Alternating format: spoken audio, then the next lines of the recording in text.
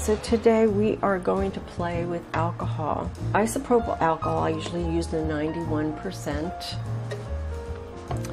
uh, breaks down acrylic polymer. So what we're going to do today is drop it on top of wet acrylic. I've painted this side with the teal and this side is plain gesso. And we're going to see how it reacts. We're going to lay over it with quinacridone nickel azo gold. This is very transparent, so we should really get a good effect. Now, if your paint isn't transparent, what I have discovered is acrylic glazing liquid, when mixed with your paint, will really do a fabulous job of giving you that transparency, especially when you're trying to do a technique like this. I'm waiting for my blue to dry, and as soon as it does, we'll get going. So just so you know, I am now doing tiny tips on Tuesdays. So on Tuesday, you come here for a nice short little video um, where I show a mixed media technique, like the like the alcohol. They call it alcohol dissolve.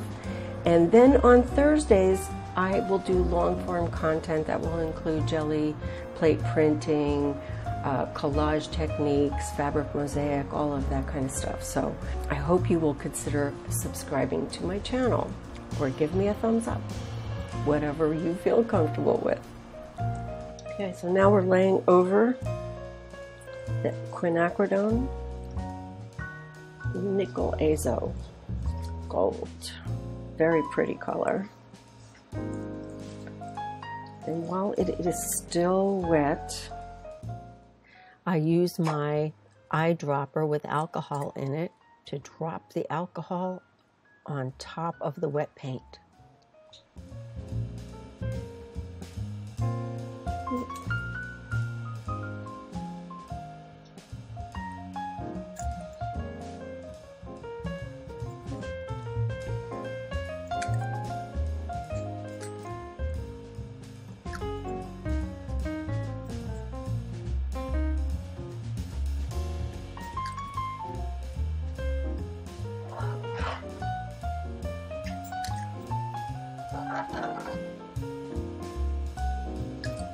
So as you can see, you could actually drizzle it on with your eyedropper and make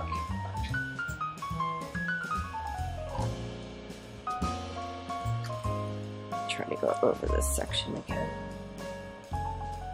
So part of the reason why this works so good is because of that transparency.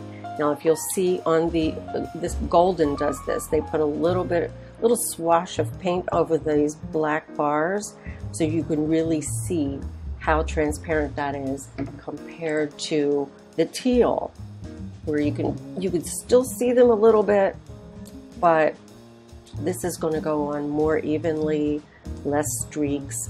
But I this particular color it went on pretty evenly. I think it you know it doesn't look streaky. It's be it's a beautiful color absolutely beautiful color it's becoming one of my favorites Okay, let me bring it up to the camera so you can see a little bit more of the detail. Now, I, of course, I love the color on the white because it's such a beautiful color. I really love that color. But I also love how it's letting that teal show through. Uh, where I dragged the dropper over, it didn't really, it does, didn't really work on the on the painted side, but it did work in a subtle sort of beautiful way on the uh, against the just the gesso. So this is a technique you should definitely play with. It's a lot of fun. It's unexpected. You don't know what's going to happen. You just never know. You think you've got it all planned, but you just don't know. And if you make a mistake and it's on like a, a section of a painting, then um, just paint over it and, do, and try it again.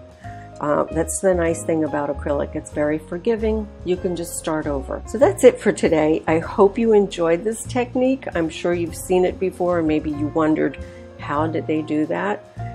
If uh, you want to leave me a comment below and let me know what you'd like me to cover in the future, I can use the ideas.